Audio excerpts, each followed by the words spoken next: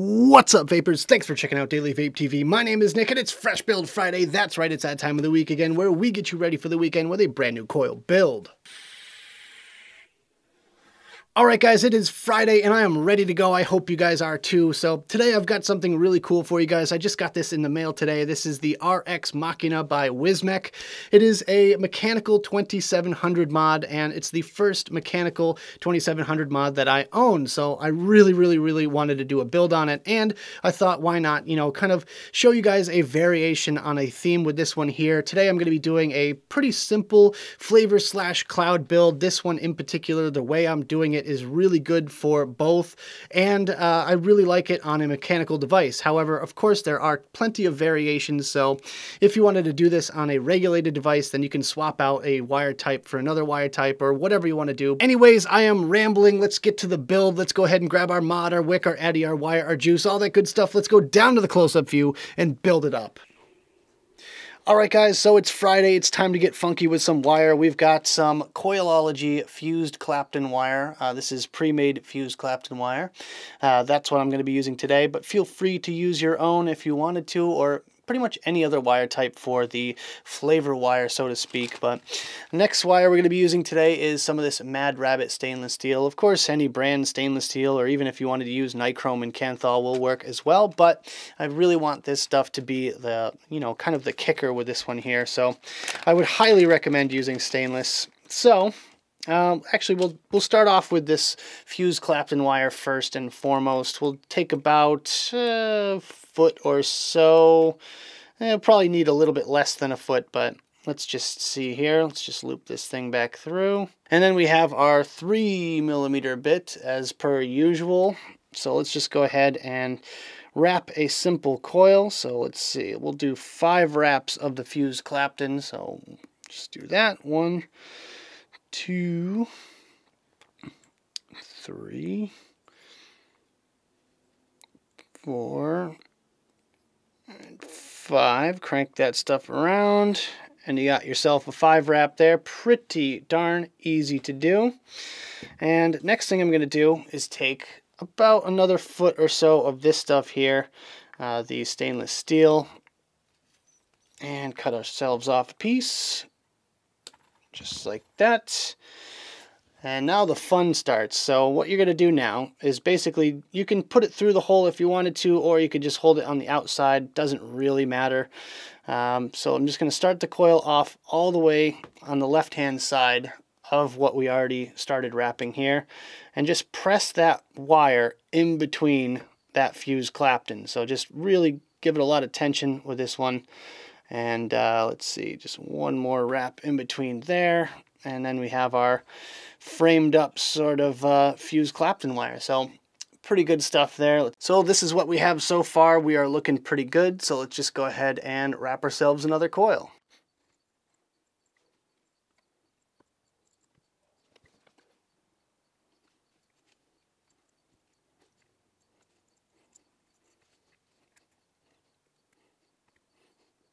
So there we go, we got two coils ready to go, ready to be installed, and yeah, I know the leads look a little bit raggedy right now, but just wait until we get these bad boys installed, you'll see just how good they look. So let's go ahead and bring in our Recoil Rebel, that's what we're going to be building on today. And the first thing we're going to do is just grab the cleaner of the two coils, and just get it into the right spot here. So we want the higher lead going towards the outside, I learned my lesson quite some time ago about how to build on a Rebel, or a Recoil rather. So there we go. Let's just uh, find that spot right there. Just, maybe this one's got to be loosened up a little bit more. And there we go. I try my hardest to keep that parallel wire um, on the outside, that uh, 24 gauge. I try really hard to keep that on the outside because I feel like uh, it just stays a lot neater when you have it just kind of in line. So to seat it pretty darn close to the edge of the deck, or the actual posts rather. And what I'm to do now is find my screwdriver. There we go. And I'm to lock in the negative post, just leaving a tiny, tiny bit of room so that we can kind of nudge it over. So once we do that, we lock it in just like that. we're to take our screwdriver and actually this screwdriver is the same diameter as the three millimeter bit. So we could just kind of nudge it over like that. And that gets our, our lead kind of nudged over towards the center there makes our coil nice and even right there in the middle which is exactly what I was looking for. And get that pretty close to the deck as well. If you want to you can bring in your pliers and just snug it up a little bit if you want to. Just like that. And I think we're in pretty good shape, so we're just going to tighten that down as well. So already our coil is sitting pretty on here, so I'm just going to actually clean up the excess wire. So let's just snip it off. Whoa, watch your eyes during this stage, of course. And next up, I'm actually going to trim up some of these leads here real quick just to make them nice and neater. Um, just because it looks like a, a big mess right now. So I think we should clean them up just a little bit there before we install them. So there we go. Just again, doing the same thing. Repeating this same step again here. And slides in pretty nice and neat. organize our wire a little bit. Tighten down the negative, just like that. Nudge our coil, just like that. Everything's falling into place here, ladies and gentlemen. And tighten up the positive side as well. Alright, so now that that's pretty much centered and in place, and as organized as I'm going to get it in this stage, I'm just going to go ahead and clip these leads.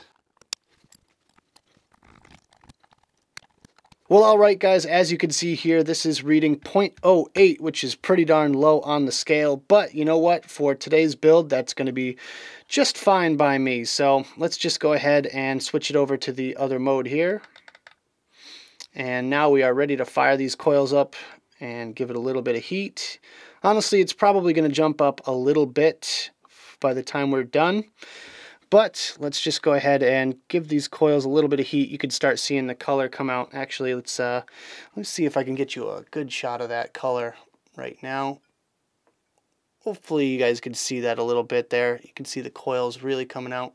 Some uh, really nice blues and purples and golds. and ah, I absolutely love stainless steel just for that reason. But let's just give them a little bit more heat here. Hopefully they fire up pretty evenly just work out any minor hot spots or anything like that just by giving them a quick little strum. And uh, just be gentle, obviously. You don't want to, you know, really crank on these coils too hard, but there we go. It just jumped up to 0.1 ohms. It's kind of where I, I figured this build would be, which is just good uh, for me. It's perfect in my book. So yeah, they're already looking pretty darn good to me. So just, you know, a little bitty more, a little bit more strumming. I think we'll be all set here. Well, even a little bit higher now, 0.11. But yeah, those coils are glowing really, real nice. I think that's all the heat that we're going to have to give them in this little part here. So let's just go ahead and wick it.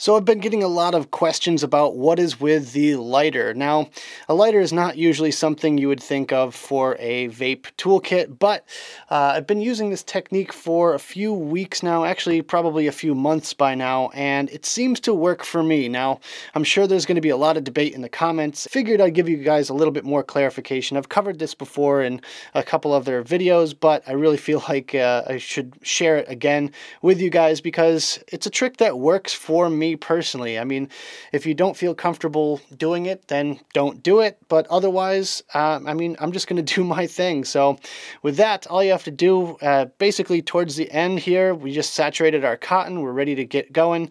But the last thing I do before I, you know, pulse fire and test it is I actually light my cotton on fire. Now, what this will do is actually burn off any excess little hairs or anything that's going on and also speed up the break-in time. So with that, it's kind of a win-win in my book as long as you play it safe and you don't really pulse it for too long. So anyways, let's stop talking about it and just do it here. Um, all I have to do for this is just fire up the coils for a few seconds and just ignite them and it should just kind of cause a big fireball and then you blow it right out afterwards. You don't want to leave it on fire for, you know, any length of time. Just basically ignite it and blow it right out. So without further ado, let's go ahead and get this going. And that's it. That's it, guys. All you have to do for that little technique there is just what you saw there. Light them up and blow them right out. It really instantly just gets rid of all those little fibers and right away you have a coil that's ready to go. So let's go ahead and give these a proper fire here real quick. One thing I'm, I am going to do is just give it a quick re-drip just to make sure it's really, really saturated. So there we go. Let's fire the button and see some vapor. Oh yeah, that's pretty. That is definitely flavor country I guess let's go ahead and go back to the main screen, have a quick vape on this thing, and we'll talk about it some more.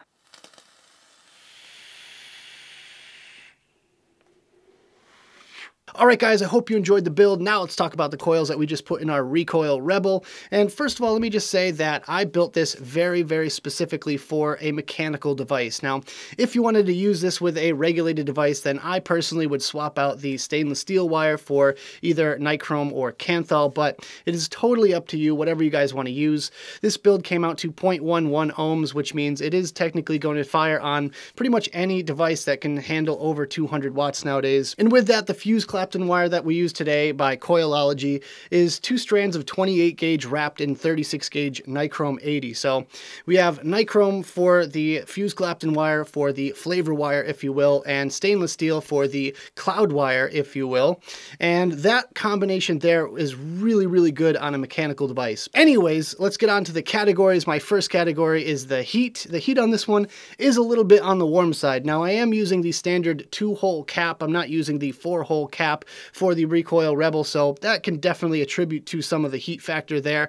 But then again, this is the one that I tend to prefer. So with this setup here, if you wanted a little bit cooler of a draw, then I would recommend using a wider open airflow. If you are doing this on a goon or something like that, you're going to have no problem with airflow whatsoever. But personally, I like a little tiny bit of restriction and also the smoothness of the airflow is just a dream on this thing. So as far as that goes, the heat factor is kind of on the warmer side side depending on which cap you use. And for my second category, which is the ramp up and ramp down time, the ramp up time on this one is very, very short. Now, I chose stainless steel wire for a very specific purpose for this particular coil. Now, with the stainless steel wire, it's very low resistance and it heats up really quickly. So basically what you're doing with this one here is the 24 gauge wire really just starts ramping up the heat factor and that also warms up the fuse Clapton that it's kind of uh, holding together. So with that, that, the ramp up time on this one is very short for the amount of wire that we have in this coil here. Let's go ahead and take a drag off of this thing and we'll check out the ramp down time. So the ramp down time is short as well, which is exactly what I wanted. It is 100% perfect in my book. You get three seconds of sizzle and then it stops dead in its tracks. So with that, very, very short ramp down time on this one, which means it's not really holding in too much of that heat with this coil here, but you still get a huge cloud out of it and plenty of flavor as well. And for my third category, which is the difficulty of this build, this one was a breeze for me, especially since I used that pre-made spool of wire, but then again, I really don't find it that much of a challenge to wrap some fuse Claptons. But with that, for those of you that might be struggling with fuse Claptons by hand, or you just are, you know, kind of lazy like myself, I really prefer using the pre-made spools of wire or even pre-made coils in certain circumstances and just kind of stage it with that outer round wire and it's just that much easier. So as far as that goes, whatever is the easiest technique for you to use is the right way to do it in my book. And for my fourth and final category, which is the flavor on this build, today I'm vaping this Nashi V2 by Juice Guys and let me tell you, this stuff is absolutely amazing. I've gone through bottle after bottle of it and I never get sick of it. It's a caramel and Asian pear blend and I usually don't go for the more savory kind of flavors or desserty flavors, but the fruitiness factor to this one just really, really does it for me. And then you get that caramel kick and it is absolutely delicious. But as far as this particular build's flavor goes, this one is really, really good. You have to try it out for all you flavor junkies out there because uh, the round wire kind of acts as a stage sort of heating. When the round wire gets going, then it heats up the fused Clapton wire and in turn you just get this blast of flavor. So after the first about second or so of, uh, you know, of your draw, you'll just notice the flavor just kind of increase exponentially and then you'll get this really lovely flavorful vape. And on the exhale, you just get this massive cloud and a ton of flavor as well. So really, really happy with the flavor on this one. It's definitely my go-to flavor build. So that about does it for this video, guys. I hope you enjoyed. If you did, make sure you hit that like button and subscribe for more videos just like this. Don't forget to click that little notification bell right next to the subscribe button if you want to be alerted whenever I upload videos. Big shout out to you guys in the notification squad. Also, leave me some comments in the box below. I'd love to hear your thoughts all about this build or the RX Machina or anything else you guys want to know about. I'd love to hear your questions down there. Also, check out the advocacy and my social media links right down there in the description below. You can also grab yourself a Daily Vape TV sweatshirt in the t-shirt store. So thank you guys so much for tuning in, and as always, vape on!